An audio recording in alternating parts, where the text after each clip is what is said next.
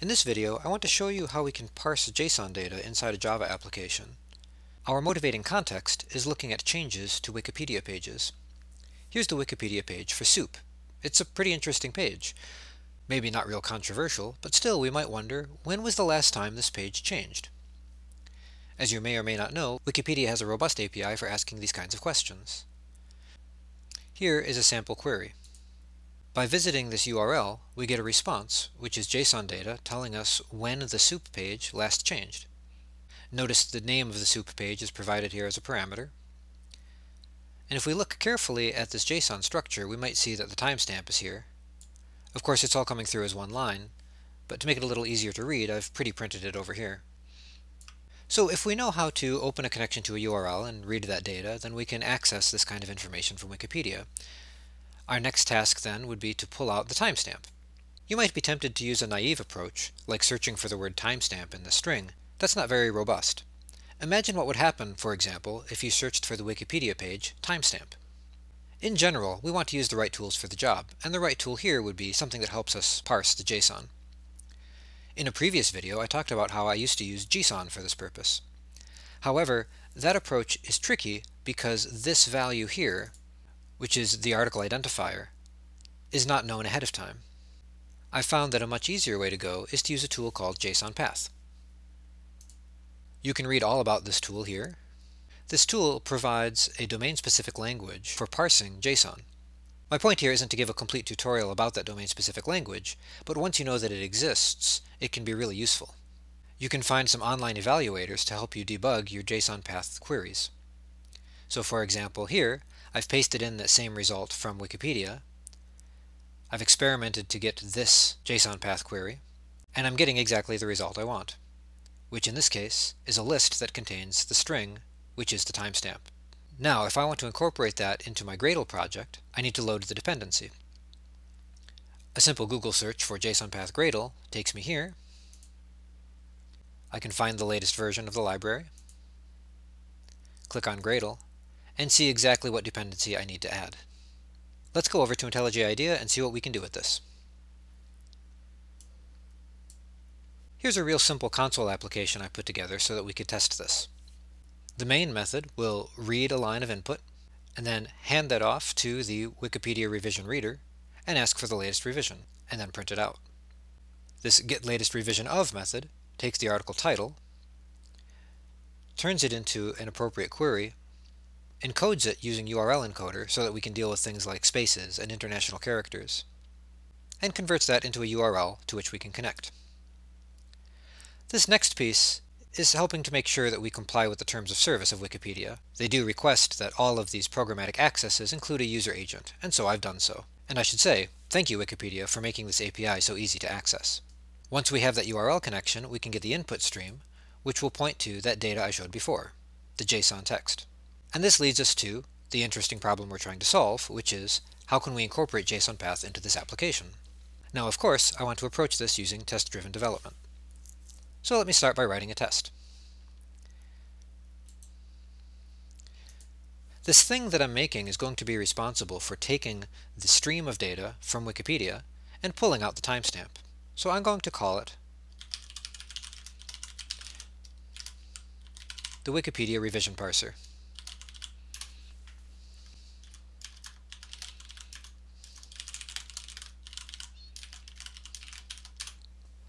Of course, to start my unit test, I need the thing that I'm testing.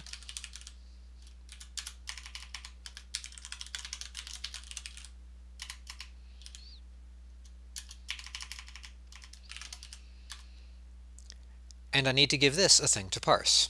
One option would be to just type in the string itself like this, and then paste it from my browser.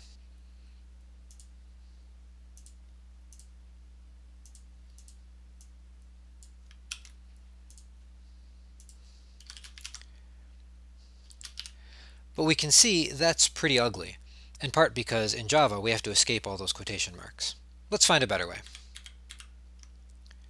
I'm going to put that data into my resources folder instead. I'll just call it test.json.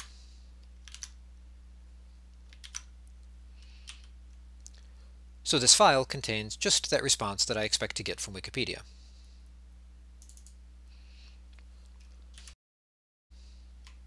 Now I'll open up a stream to that file, similar to how I would do so to Wikipedia. The main difference, of course, being that I know I have access to this file, so I don't have to worry about a dependency on the network.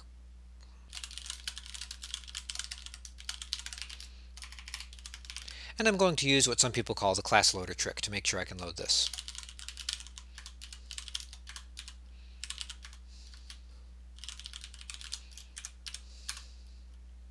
Alt-Enter will bring in that class. Now let's send that data to the parser. And what I expect to get out of that is the timestamp. Finally, we can put in our assertion.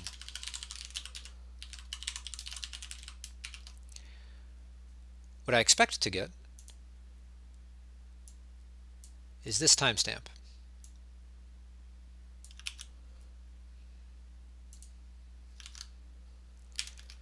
And what I actually got is timestamp.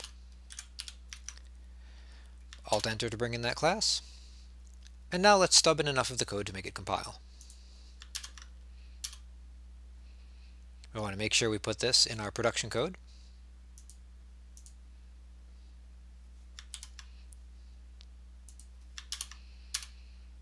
And for now, let's just make this fail. Let's run the tests.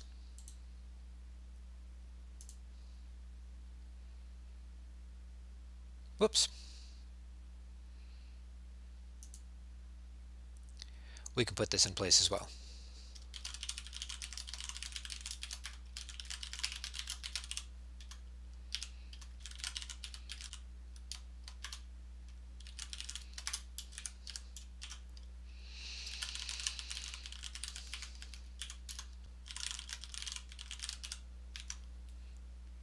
Let's try that again.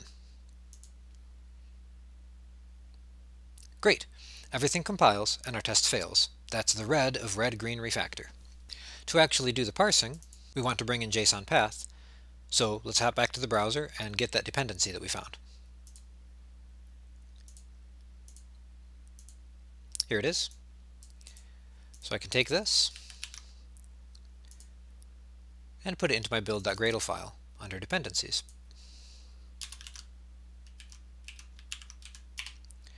Remember, whenever you change your build.gradle file, if you don't have auto update enabled, you need to click on the button up here to reload your configuration. Okay, we should now have access to JSONPath. Let's go back to our implementation. We can access JSONPath through the JSONPath class. It has several read methods, and we're going to use the one that takes an input stream. And the query we need is the one that I experimented with until I found something that worked.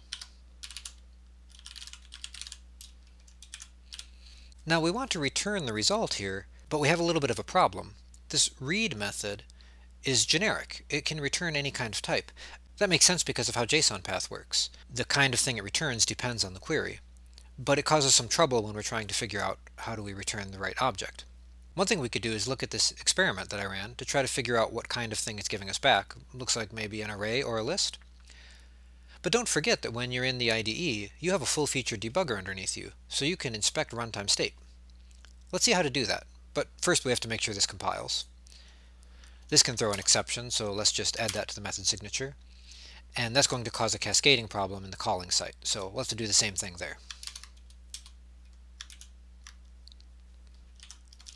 Let's grab this result and just put it into some object O and have some return statement there so that this still compiles. I'll add a breakpoint to line 10 and now run this test through the debugger. So execution now has stopped at line 10. Let's go ahead and step over line 10. You can see that our local variable O is a JSON array of size 1. And in fact, it contains the string that we want. So it seems that all we need to do then is use this JSON array class to get the first thing out of its results. One option would be to do it in the safe way.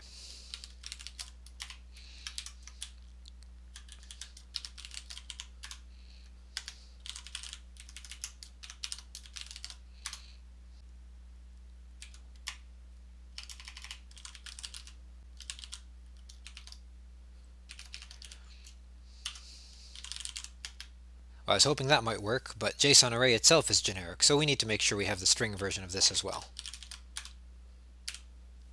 Let's try that.